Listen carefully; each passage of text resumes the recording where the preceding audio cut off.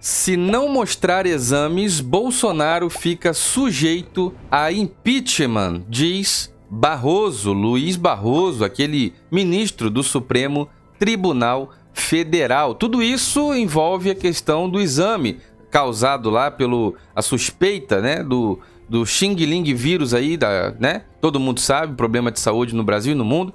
E as pessoas querem saber se o presidente Bolsonaro pegou ou não pegou esse tal desse corona e tal. Então, quer dizer, há uma pressão. Você vê o presidente Bolsonaro firme, lúcido, tranquilo, andando, caminhando e caminhando muito, comendo pastel. Enfim, você está vendo o presidente Jair Bolsonaro andando pelo Brasil inteiro. Normalmente, vai, sai, volta, tem que ir a tal lugar, volta. E ali nós estamos vendo um presidente saudável, boa aparência, disposto.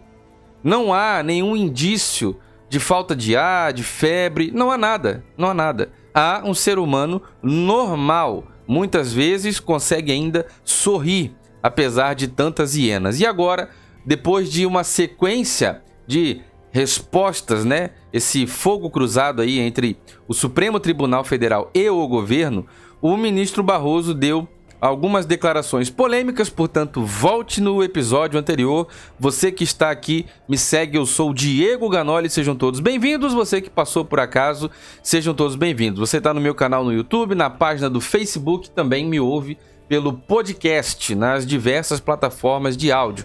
No YouTube, verifica sua inscrição aí no canal, verifica se o sininho está ativado. No Facebook, clique em curtir e seguir essa página, somos 10 mil amigos juntos aqui. O Instagram é Diego Ganoli. Pega lá o link aqui para uma rede social que te paga, ela compartilha lucros. Tem um vídeo dentro do meu perfil, na nova rede social, tem, você vai instalar. No meu perfil tem um vídeo na pasta vídeos que te ensina passo a passo como que essa rede social funciona para você também ganhar suas comissões. Meu Instagram é Diego Ganoli, meu Twitter é Diego Ganoli. Passa lá e me segue pra gente conversar, beleza? Olha só, não é de hoje que nós estamos vendo essa polêmica em cima do presidente Jair Bolsonaro e o bendito do corona. Eu nunca vi nem nunca sei, só ouço falar, eu não sei, só ouço falar. Se você tem alguém na sua família que tem um laudo médico tem que ser na tua família, porque ouvir dizer que alguém falou não vai rolar. Se você tem alguém na sua família que passou por este, por este, por este vírus, esta, essa enfermidade, com um laudo que comprove exame, é, pulmão, radiografia, que dê para ver, dê para ver, não um papel que alguém falou não, um negócio que dê para provar. Aí você me manda por e-mail, diegoganoli@gmail.com, tá bom? Ou alguém que faleceu e tem ali a questão da necrópsia, autópsia, não sei, algo que dê para ver e provar que isso realmente aconteceu, porque até o presente momento não tem um ser humano que eu conheça que pegou esse bendito desse caramba ou que tem alguém na sua família que pegou. Aos que faleceram e foi determinado que foi por esta causa, Deus abençoe e conforte a sua família tá bom? Deus abençoe. Porque o, o, o pânico psicológico, a histeria coletiva é tão grande que é capaz da pessoa acreditar que tem, mesmo sem ter. Só porque a, a, Globo vomita isso o dia inteiro na cabeça das pessoas, chega lá nos hospitais, sabe Deus, sabe Deus do que está acontecendo por trás aí, a gente não sabe. Qual é o limite da maldade? Deixa um comentário. Você acha que as pessoas podem mentir num laudo médico, assinala aí que foi ah, o, o, borracheiro lá, o pneu estourou e não sei o que, um acidente de trabalho, bota aí Covid. Ah, o fulano de tal tava com problema. Você já viu viralizar na internet diversos vídeos de parentes, familiares chorando e gente com um documento na mão falando: gente, meu pai não foi por causa disso, minha mulher não foi por causa disso, meu filho não tinha nada disso e por aí vai. Você já viu isso no Brasil todo. Agora, querer obrigar um ser humano a expor a sua intimidade com algo tão íntimo que é saúde, exame, laudo, enfermidade. Pera aí, meu amigo, se você tem uma doença, você vai ser obrigado a expor? Tá, tudo bem. O clima é de epidemia, é contagioso, beleza. Se você tem HIV e nunca contou para ninguém, você quer ser exposto na televisão com o teu exame positivo? A lei garante o seu princípio da sua privacidade, a sua intimidade. Agora, Se vai pôr em risco a sociedade, tudo bem. É uma questão que você tem que analisar o peso dessa decisão. Mas que risco que o presidente Bolsonaro oferece para alguém? Saudável, caminhando, viajando, falando, dando discurso, trabalhando, sorrindo, com a família, abraçando filha. Ó, eu, eu vou te falar. Não vejo outra coisa a não ser um presidente saudável. Agora, o problema que eu já reparei na fala do presidente não é que ele tem problema, dificuldade com apresentar o exame, não é nada disso. Ele só está tentando provar, da forma dele que é muito parecida com a minha, que não tem que ser obrigado a mostrar nada não, meu amigo. Não tem que ser obrigado. Ele tem uma vida saudável, não apresenta sintomas, vive a sua rotina normal, trabalha, Tá tudo fluindo. Ninguém nunca pegou ele cambaleando com falta de ar. Todo dia ele fala lá na porta da alvorada.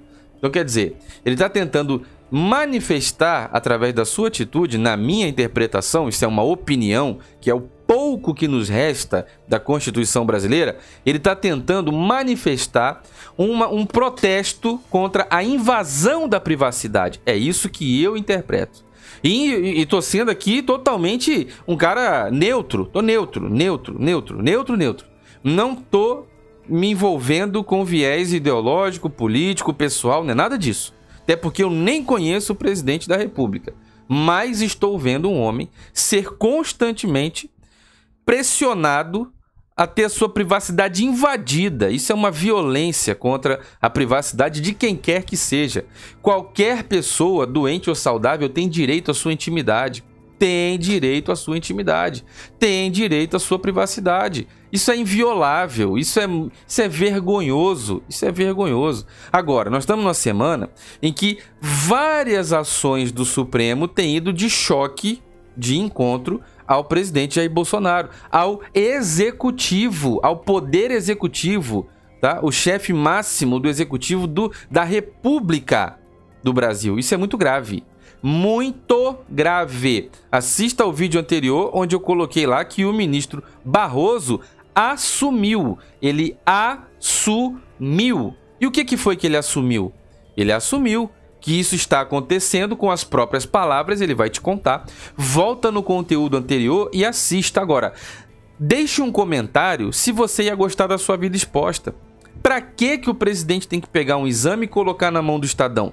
Para que que ele tem que virar publicidade de tudo quanto é capa de jornal? Se o cara tem ou se não tem? Duas opções que eu te dou.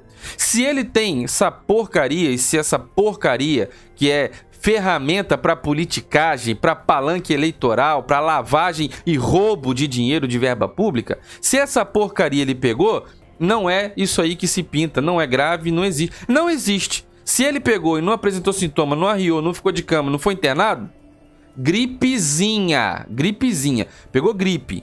Agora, se ele tivesse pego, realmente fosse grave, grave, com tanto de cirurgia que esse homem fez, o tanto de procedimento de, de, de cirúrgico para salvar a vida dele que ele passou, meu amigo, quantos medicamentos você acha que o presidente deve tomar por dia por causa daquele. Ele foi esvaziado, ele foi aberto e esvaziado, tiraram o seu intestino, fizeram lavagem, limparam, lavaram ele por dentro para depois colocar de volta e tome tratamento, higiene, limpeza e cuidado para não dar infecção generalizada. Não, esse homem é um milagre. É um milagre. Jair Bolsonaro é um milagre.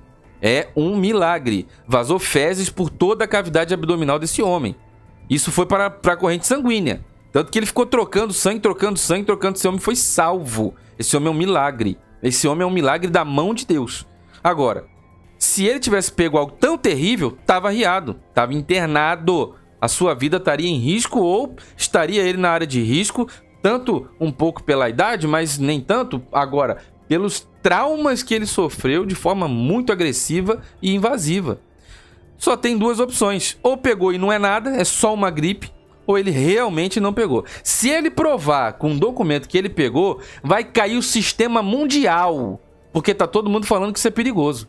Botaram o povo tudo doido internado dentro de casa e perdendo emprego. Gente desempregada à torto e à esquerda, nesse caso. À torto e à esquerda. Gente desempregada. Que não tinha nada a ver com isso. Politicagem para mamar dinheiro público. Eu mudo meu nome, eu mudo meu nome, você tá louco. Politicagem pra mamar dinheiro público, tá bom? Agora, deixa o seu comentário. Deixe o seu comentário, porque eu não conheço ninguém, nem na minha família ou meus amigos, e nem os meus amigos conhecem alguém, nem em suas famílias ou alguém do seu convívio. Deixo aí o desafio. O e-mail para você me provar é diegoganoli.gmail.com. Beleza?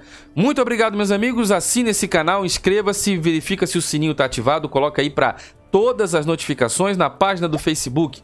Curta a página e clique em seguir. A página é Diego Ganoli. Você vai lá, clique em curtir, clica em seguir e ativa para receber todas as notificações. No Instagram também é Diego Ganoli. Passa lá e pega o link para a nova rede social que te paga, compartilha lucros, porque é uma plataforma de venda parecida até com o Instagram. Entra lá, instala esse negócio no teu aparelho, vai parar no meu perfil e pega na pasta vídeos um vídeo que te ensina passo a passo como que ela funciona e você também vai ganhar o seu dinheirinho aí, as suas comissões. O meu Twitter é Diego Ganoli, você que me ouve no podcast em todas as plataformas digitais, clique em assinar para receber os próximos capítulos, próximos episódios aí no podcast, tá bom? Muito obrigado, meus amigos, fiquem todos com Deus e um forte abraço.